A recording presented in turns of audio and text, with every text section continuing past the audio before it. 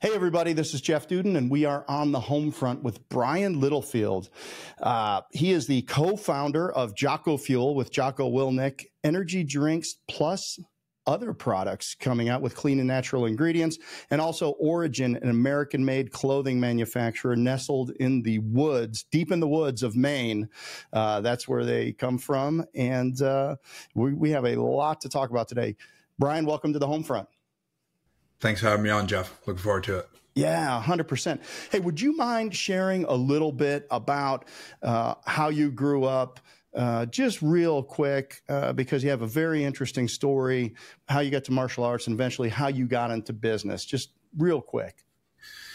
Yeah, well, um, I'll, I'll, try and I'll try and do it quickly. But yeah, I grew up in Maine, um, part of a pretty big family, split between uh, two different sides. I was the only one actually between my parents, uh, the only the only child.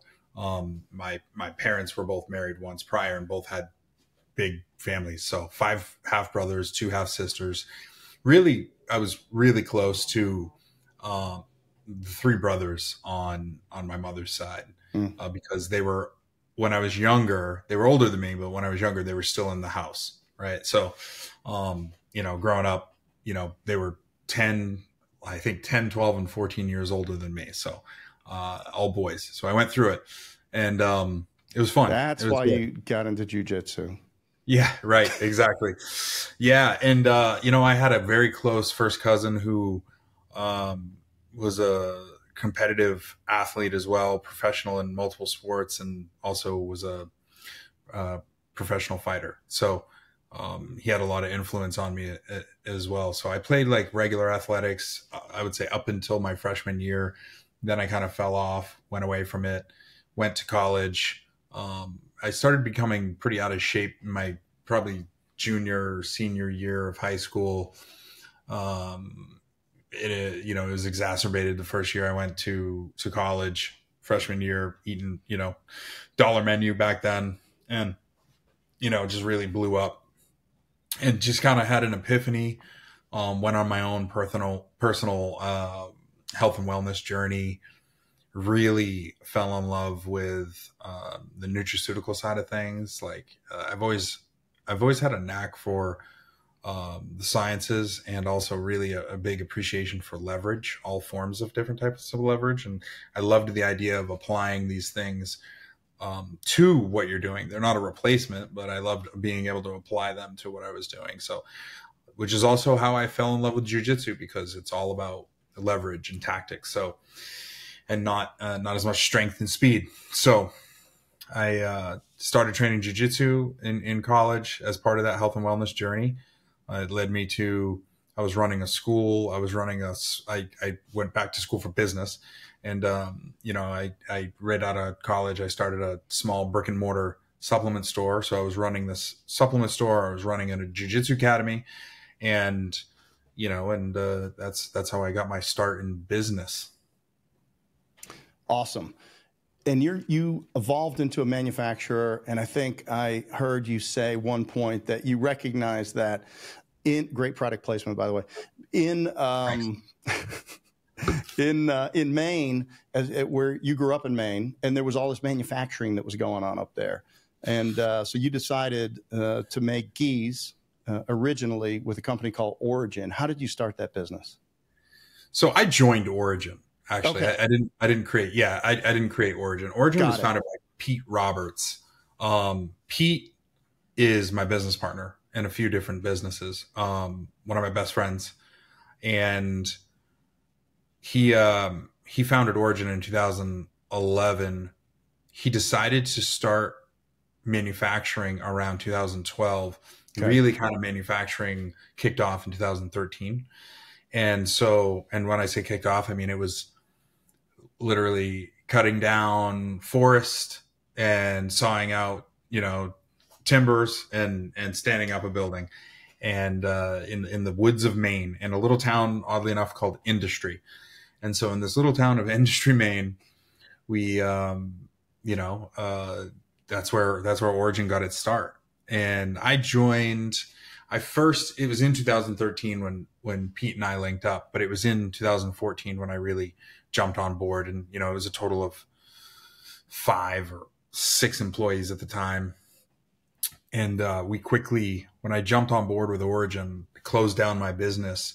It was actually in Ohio, uh, the the supplement store and the academy that I was running.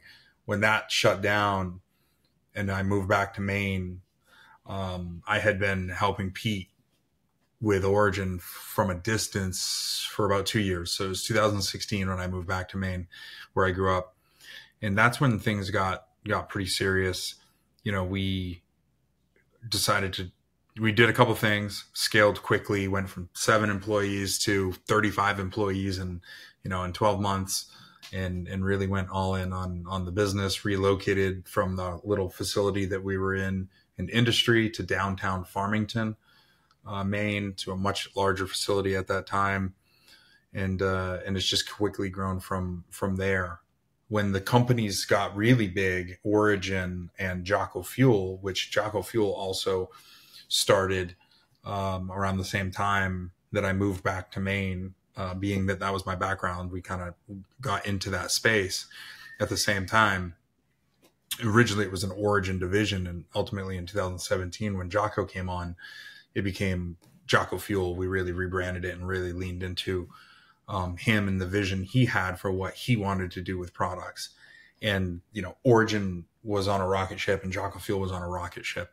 And uh, in 2018, I transitioned uh, transitions exclusively over to Jocko Fuel, and so I've been um, helping just grow that thing as much as possible and having a really good time doing it.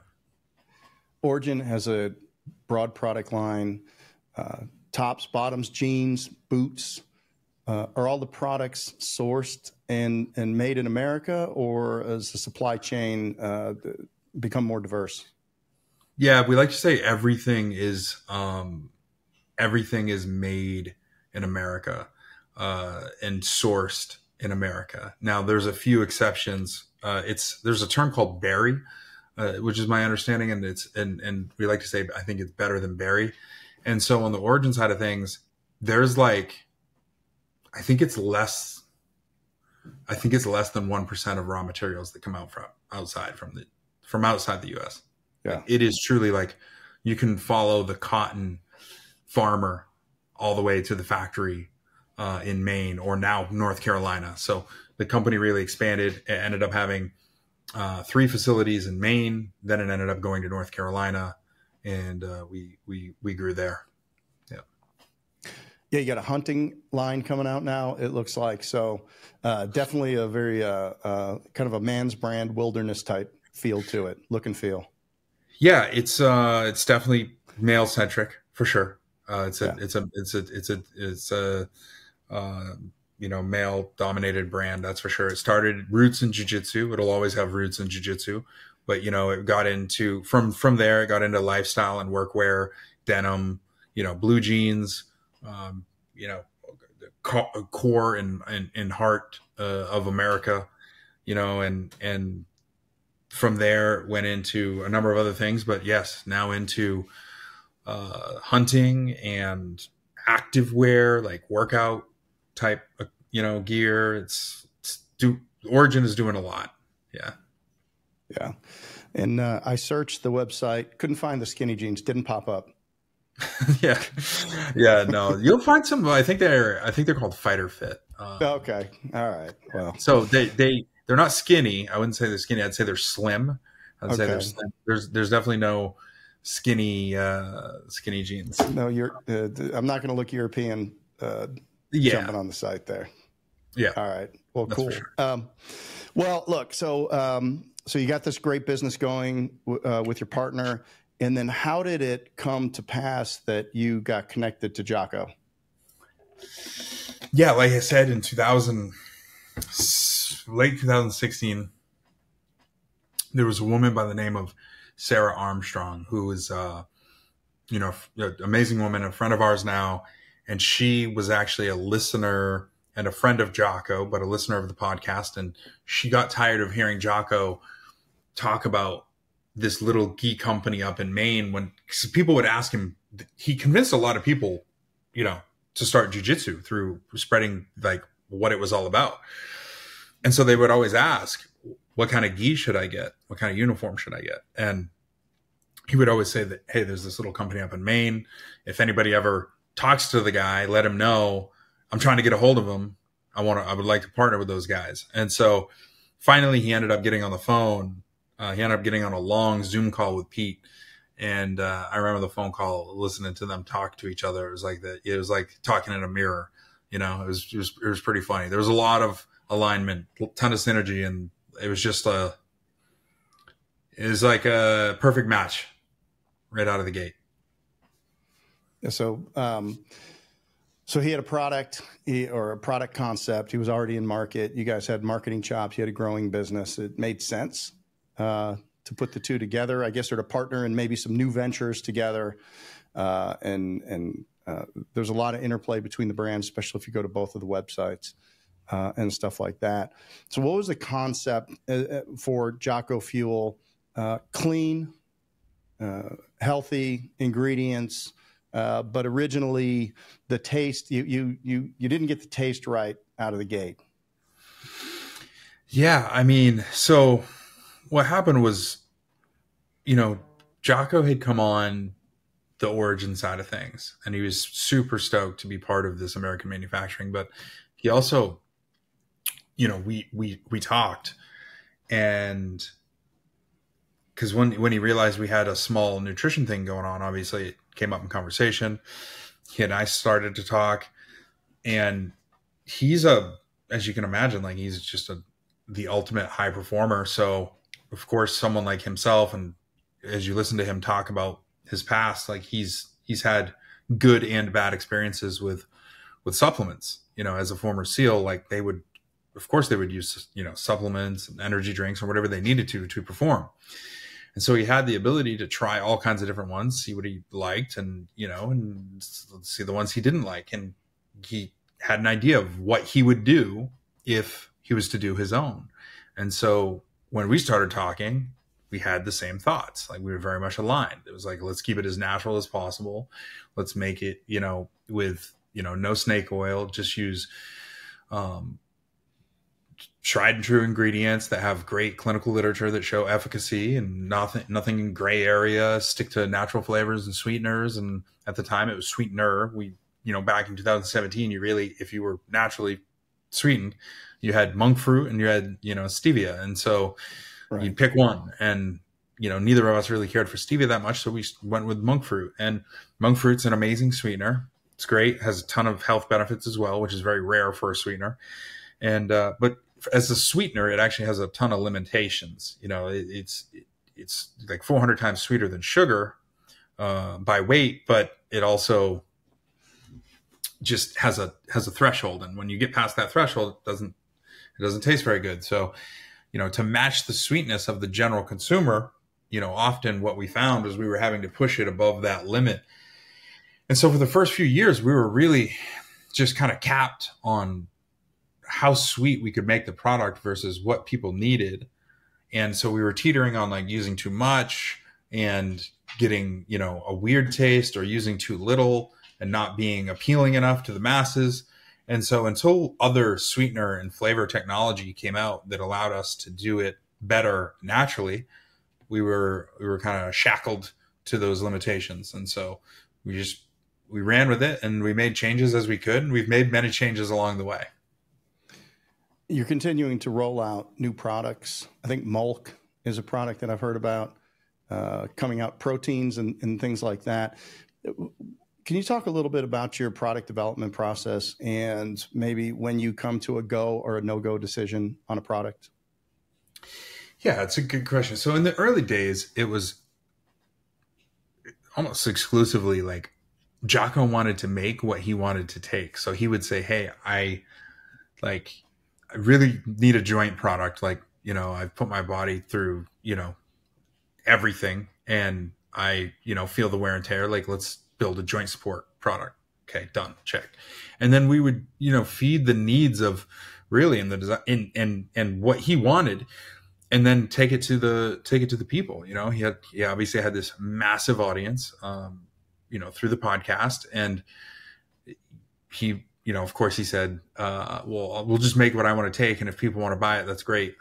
You know, obviously, we quickly learned people would want to buy it, but we truly made what he wanted, and so eventually that transitioned to, "Hey, what would what would make sense for the brand?" Because we've never been all about just jumping into categories that are just hot. Like we don't just, oh, hey, there's a new, you know, um, you know, when when for instance, when BCAAs, you know, branched chain amino acids came back in a big way, we didn't jump on that train. We didn't jump on the collagen train. We didn't jump on a number of things just because they were hot. We we we did what we wanted to do when we wanted to do it, and that's been really nice. And so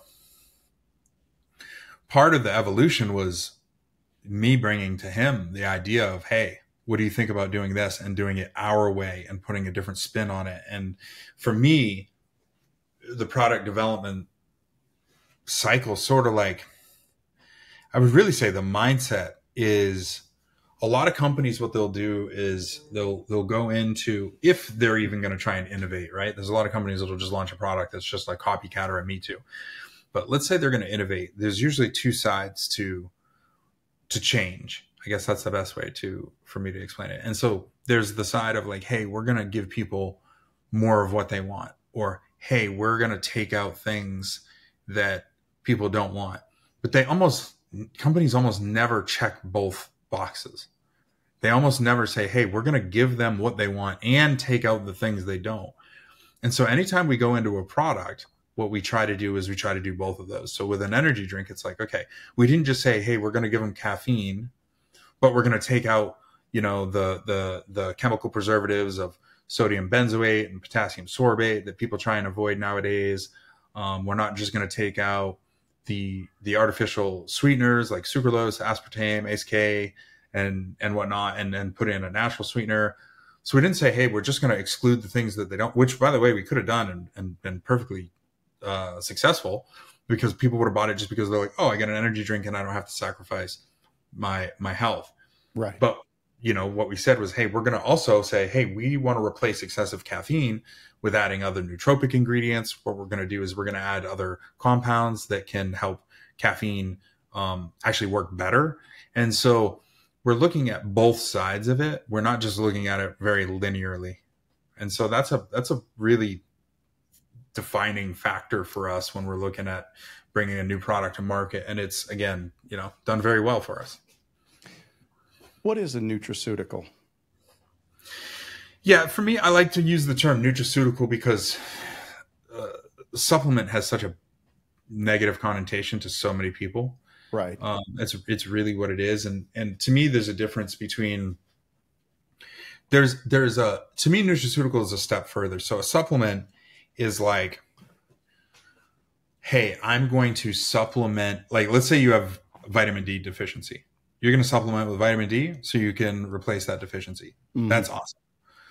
With the nutraceutical, I look at it like, okay, there's other things. There's there's um, compounds, there's botanicals, there's things in nature that we can use as medicine. So if you're dealing with some sort of underlying issue, whether that be joint pain, whether that be memory loss, whether that be um, low testosterone, you know, a number of these things that you might encounter in in living because right, you're basically getting attacked on all fronts all the time, right? And so there's these nutraceuticals, much like there are pharmaceuticals, and these natural things in nature that we we can take and we can extract and we can use to oftentimes turn on the body's natural biological mechanisms to improve that portion of their health. And mm. so that to me is where the difference between just saying, "Hey, I'm going to supplement with something," and "Hey, I'm going to use um, nature to heal." These products generally would be focused on recovery, restoration. What about anti-aging? Yeah, um, that was. Or is that more peptides and things like that? Well, we do have an anti-aging product um, okay. Actually, so yeah. Uh, so there's how does that work? Yeah, uh, it, it's so there's a number of ways to to target aging, right? And so a lot of people don't know this, but um, you know, not to to shoot ourselves in the foot, but the the one thing that people can do that's been clinically tested that has had a more profound effect on biological aging markers. The Dunedin pace is really probably the gold standard of clocks they use to measure your biological age. There's a number that they've used over time, and this Dunedin pace is probably the the best. And so what they found is there's a number of nutraceuticals, pharmaceuticals, and therapies that people have done, like um, like oxygen therapies, the you know cold shock, heat shock, those types of things. They've all a lot of them have had great effects. There's actually nothing that has had as profound as of an effect as a reduction of caloric intake over time. So what we know is the thing that's actually going to help increase lifespan is eating less calories over time. That's the thing that's going to help the most. Now, to take it a step further, of course, you know, you have things like peptides, you have uh, other pharmaceutical drugs that are that are used to target different um, genetic actions. But the one thing that we found that we really leaned into was um, was the NAD side of things. So obviously we have NAD3. So which NAD3 is actually a little bit different. So NAD itself uh, isn't ultra bioavailable when you just consume it. So people right. take these precursors like NMN and NR, which which both work. Um, literature seems to be more recently supporting the the NR side of things, but we took a different approach. Uh, although I'm I'm a big proponent of NR, we took a different approach and we ended up using a trademark, very expensive trademarked ingredient. It's actually a compound of three ingredients. And what they found was like in this combination, in this ratio, it actually made your body create more NAD and you didn't have to use the precursor. And so the, the anti-aging compound, the, the actual, there's uh, multiple capsules in this packet that we have. It's called Time War. And so the anti-aging blend in there is, is NAD3. And, um, it's a it's got two other ingredients. One is called PQQ, and the other one is called spermidine. And the trademark version is Youth. And that one's really interesting because spermidine is um, it got its you know it's got its name because I believe the compound was originally found in sperm, and so of course scientists said spermidine, and so yeah. uh, I believe it's predominantly extracted through wheat germ now and this spermidine, it doesn't take much. There's actually only three milligrams, which is considered a high dose. And so this spermidine, what it does is it, what would normally take, you know, exercising or fasting to trigger um, autophagy process in the body to rid the, think about it as like kind of ridding the body of dead or damaged cells. This spermidine will do it by just ingesting it. So it'll actually turn on that body's mechanism.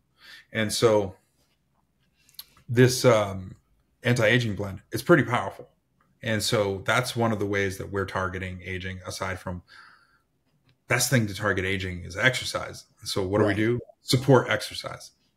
Well and you said caloric intake so you look at yeah. I, I, I, was listening to I, I don't know who it was maybe jordan peterson was talking about the reduction uh, over time in grip strength in males mm-hmm. due to our diets, increased processed foods, and things like that. And our grip strength is decreasing as our testosterone uh, uh is decreasing, and uh, much at a much faster rate than women's grip strength is decreasing. Hmm. Yeah, I mean, I so look, don't take that as a fact because I heard that on the internet. So, but but I can tell I you, mean, I agree. I, I, understand the grip strength thing is 100 percent, 100 percent. I didn't know the statistic around the men versus women, but it's probably correct. Um, you know, we're surrounded by the really what it is is it's a um, sedentary lifestyle. It's right. ultra processed foods. I don't like saying processed foods because everything's processed, right? I mean, just like grinding. Like I had, I had, um, you know, I'm a partner in a, a, a direct to consumer ranch to table beef company, and you know, I had some of their burger for, for lunch. Technically, it's processed; it's run through sure. a grinder. So, but when you're talking about ultra processed foods, yeah, like um, there's no food actually in it. Yeah, there's yeah. I mean, it's you know what it is is it's it either has a ton of preservatives, it has a ton of food additives, or it doesn't have a ton of nutritional value, right. or it's it's just so far from its origin source. Um, you know, this, there's a big, you know, there's a lot of uh, disagreement on this subject. You know, people will say food is food, and I won't get into all that. But in my opinion, sedentary lifestyle, the ultra processed foods along with the endocrine disruptors that we have in our lifestyle the the the phthalates you know being constantly i mean surrounded and wrapped in which it's it's hard to get away from you know i'm drinking out of a plastic bottle right um, you know so what i say is you just try and minimize that stuff like you're not going to get away from it in in sure. our in our current society like we're not going to go back to drinking out of glass only um, you know i know some guys that sleep in only cotton boxers and cotton sheets and they won't sleep in polyester and i get it uh, what I would say is limit limit it as much as you can, but you're not going to be able to get away from from all of it. Yeah. And the product that you were talking about is called Time Warp. Time War. Time War. War on time. Yep. War on time. Awesome. So you're constantly innovating. You're coming up with with great products. You obviously practice what you preach, and um, uh, you're very responsible in the way that you're bringing the stuff to market. What's what is the current distribution of the product line? Uh, major retail locations? Can you buy it online? Where, where are people buying this? Yeah, so uh, we still do a lot of sales through our website and Amazon, uh, but our retail footprint is growing rapidly. You know, we first launched into our first national retail partner was Vitamin Shoppe in 2020. We launched in February. so, um, you know, March hit and, and, you know, things got crazy, but it was good. We were the fastest growing new brand, excuse me, fastest growing new brand of 2020.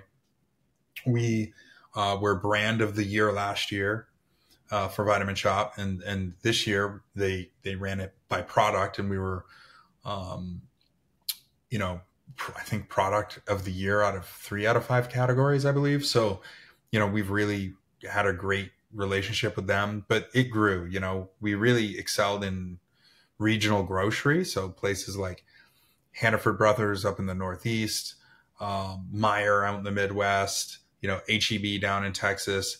Those regional grocery partners have been phenomenal for us, but we are launching into uh, Walmart uh, later this month. And so that'll be uh, nationwide uh, Walmart launch for a couple of our products. And that's the big one. You know, that's the big, that's the big next step. That's the big test. And it's always been our goal. It's always been Jocko's goal. Like his big, he said it, I remember since day one. So what's the long-term plan? What's the goal for, for the company other than, you know, let's make great products and hopefully make a profit from a business standpoint. It was, what do we want to do? And he said, I want to like I want these products to be accessible at someone's fingertips, like on the ready. Like, you know, if they want to drive to the store and get them, then I, I want to make them available. And so this launch into Walmart will essentially do that with a couple of our products. It's not the full product line because we have a lot of products, but a couple of our products will, um, you know, be nationwide in Walmart, which I believe covers, I think it's 80% of the United States as far as like shoppers. So that's really checking the box for us. And, you know, we're just to keep going, keep growing. Sir, Sergey from Google said that, you know, they spent 70% of their time on their core business, 20% in adjacencies, which are businesses that are related to the business, and then 10% just out of the box innovation. As you mm. look to the future, and obviously, you know, one plus one plus one, you know, continue to add distribution, incremental adjustments to the product line, continue to bring great resources to people that are interested in health. What are, uh, do you have um, a mechanism in your team to get away and just think about what's possible and maybe what's missing uh, from something that uh, can just be a, you know, out of left field type thing for you guys? Yeah. Um, do we have a me- mechanism? Yeah, we do. I mean, we we do a number of offsites uh, with with some really bright people. You know, one of our, um, you know, he's a partner of the brand now, but he he started off as a board member. Uh, his name's Kip Fulks, and so hmm. he's strategic advisor to my partner Pete as well. And so Kip was the co-founder of Under Armour. And so having someone that started day one with, you know, Under Armour grew it to, you know, multi-billion dollars for, you know, had done every role imaginable through the organization as it, as it grew has just been insanely beneficial. And we have great investment partners. We just have such a great team. So I'd say there's no shortage of, uh, outside of the box idea conversations. That's for sure. It's, it is never vanilla. Yeah. Brian, what do you do when you're not working, man? Um, how do you how do you keep the balance between uh, fast growing, high profile business, and then keeping yourself sane, uh, keeping yourself balanced, and and making sure, sure that you're feeding those aspects of your of your soul as well? Um, well, I would say, I think the it should be a I, I would say this like it should be like a pursuit of balance but if you're on a rocket ship like this yeah. you're often not balanced. You, you, you're just you're just not. And and you know i have some people that um i have some friends in in in business that you know probably do a better job than me at balancing that and i have some that do a you know I, I, know for a fact do a worse job for me it just comes back to uh you got to service the machine you know you can't let yeah. it break down so you, it's okay to push it though in yeah. my opinion especially I, I also know like i'm not a spring chicken anymore but at the same time i'm probably feel a lot better right now than i will when i'm 60, 65, 70. So take advantage of the the the energy and the the way I feel now and you know and you know postpone a little bit of that uh freedom and satisfaction and and just uh put it down now so I can uh reap the benefits later. So I'd say I I definitely still prioritize getting to the gym, doing my, you know, particularly jujitsu. Like I've been doing jujitsu for, you know, 15 years. I still make sure I get on the mats um, once a week, and you know, and then uh, you know, I still, you know, when I find time, I'm doing the sauna. I don't do the cold plunge nearly as much as I used to. Um, yeah, I don't blame of, you. I don't blame you for that. It's it's. Uh, I got a uh, sauna and a, a, cold plunge right next to it, and the cold plunge is it's lonely. It gets uh, neglected. Yeah, you know, I, I got really, I was really heavy in in the cold cold exposure thing, and I think it has a ton of benefits. What I actually found was I went through a period of about, I don't know, probably three months, four months, where I did it like every single day in a row, and what I actually found was you grow just like anything you grow a conditioning to it and the cognitive benefits that i was getting from that stimuli kind of faded and so sure. what I found was like, and that's where I got the most benefit from it. Like as far as like cold shock proteins for longevity and stuff, I'm sure you're still you're probably still getting those benefits even with conditioning, but I was using it for like the cognitive benefit. Like I just felt so much more alert and on on on point after using it that when that started to fade, I was like, well, this doesn't make sense. So then I started using it kind of on an as needed basis. Let's say I was jet lagged or I had to go into a big meeting or something. It's like hitting that before something really important where you're going to perform like that's a hack and when you have that conditioning built up i noticed that the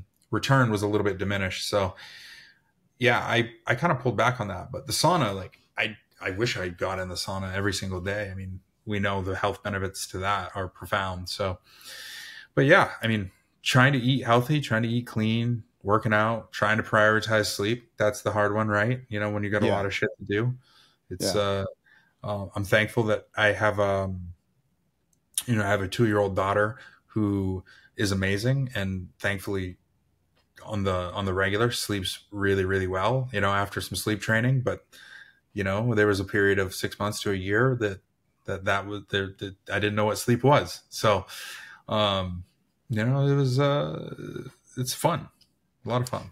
Well, congratulations on that. I mean, with the cold tub, I mean, con- our bodies adapt and you know contrast is key and body confusion uh, helps and anything you do every day man we are adaptable and our bodies are just going to adjust right to it so you got to keep it like any relationship with yourself like you got to keep it fresh and you got to keep changing it out um, and congratulations on your daughter um, what you. Uh, you were an entrepreneur from an early age what advice would you have to young people today that are just thinking about cracking into business i would say I mean, it's it's changed so much over the the last few years too. When I've done done more of these types of interviews or started working with other entrepreneurs, like my answer has has changed. I would say the best piece of advice I could give that currently, right now, snapshot of my mindset because it changes, it evolves. The best piece would be you. I think that you have to embrace the sacrifice and so a lot of people will say, um, you know, the key to success is, um, you know, a great idea or timing or hard. We, we always hear like hard work. Uh, but for me, it's like, think of it as sacrifice. And when you can do that and you can be okay with it, uh, you're, you're, you're to be able to sleep better because it's not to weigh on you as much. You understand it's a conscious decision. So if you're not, okay with it, it it's to eat at you. And so you have to say, okay, I'm going to sacrifice this time with my family or my loved ones or doing something I'd rather be doing, whether that's hiking or maybe it's biking or maybe it's swimming or whatever it is. It's okay to sacrifice a little bit now for something more later. And yeah. it's probably necessary. But the difference is, I think, with a lot of entrepreneurs is they understand they need to do the sacrifice, but they never get right with it they don't understand that they don't really get comfortable with it and so it eats at them and so that's one thing i'd say is just get comfortable with it man that's a that's a great point. You know bal- and back to the balance thing balance is a fallacy. If you're going to do something great then you're going to sac the more it's you're going to sacrifice greatly for it. Yeah. you don't have to do it your whole life. People that worked for Jobs said it was the hardest but greatest 18 months that they survived there working 120 hours a week cranking out those iPhones. But um, man, I, I got a little hack and I don't I don't think I heard it anywhere. I just think it I just came up with it one one morning and it was um, change the meaning.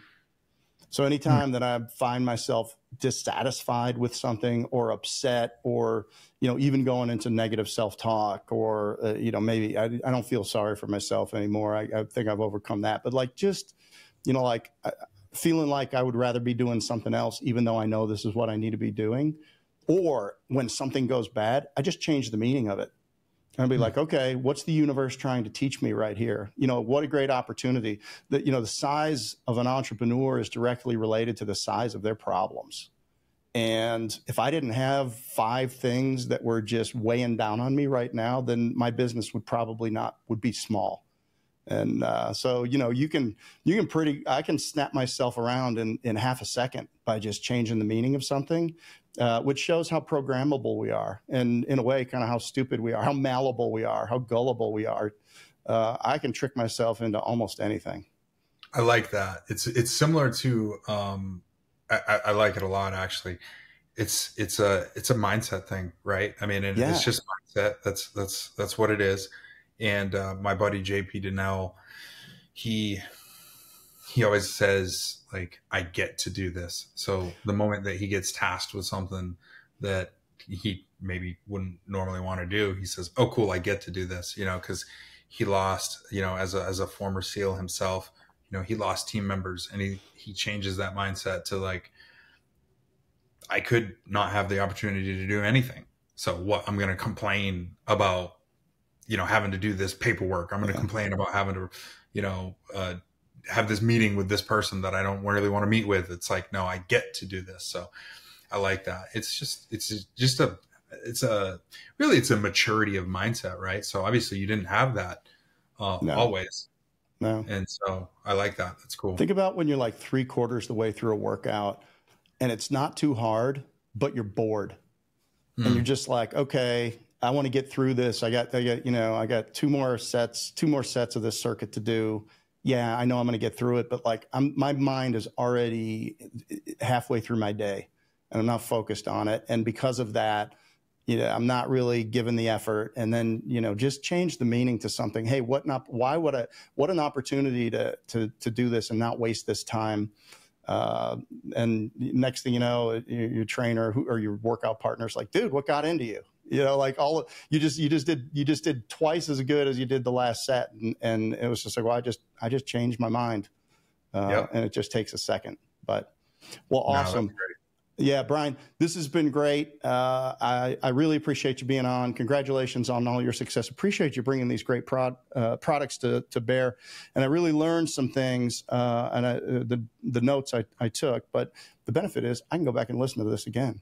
But uh, about some of these uh, some of these compounds and stuff in your time war product because i think for me and so many of us out there we're just looking to finish impeccably uh, we want to be our best self we want to have energy and there's so much noise out there uh, about you know what what do you need and what it, what don't you need.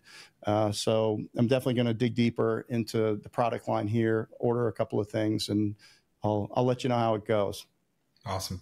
Well, yeah, I appreciate, I appreciate it. Last question though, Brian, for you. If you had one sentence to make an impact in somebody's life today, what would that be? Oh man. What's your go-to? What do you, what would you tell your daughter? I'd say take the chance. Awesome. Yeah. What's it? I mean, that's that that that would be it. Is just take the chance. This you can probably always go back to whatever it is you were doing before. So what's the what's the what's uh what's the risk, right? Just take the yeah. chance. Most of the things we do as entrepreneurs aren't fatal. Yeah. Yeah. Yep. This has been Brian Littlefield with Jeff Dudan. We have been on the home front. Thank you, sir. Thank you.